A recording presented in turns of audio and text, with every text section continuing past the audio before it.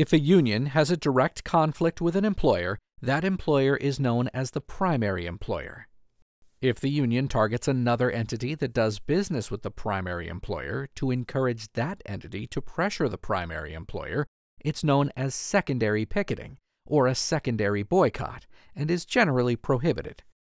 But in Sailors Union of the Pacific, also known as Moore Dry Dock, the National Labor Relations Board considered whether union activity on a secondary employer's premises might nonetheless be permitted. Sailors Union of the Pacific represented the crew of a ship that regularly transported gypsum for the Kaiser Gypsum Company.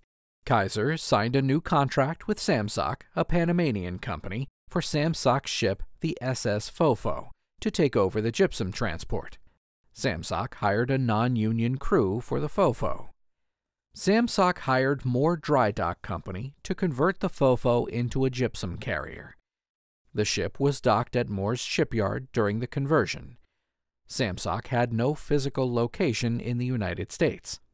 Under its contract with Moore, Samsoc could place its crew on the ship during the last two weeks of construction. Union representatives contacted Samsoc asking to negotiate a contract covering the Phopho's crew. Samsoc refused. The union asked Moore for permission to picket at the dock next to the Phopho. Moore refused. The Union then picketed at Moore's shipyard gate because the picketers couldn't get closer to the Phopho. The picketers' signs declared that the Phopho was unfair to the Union.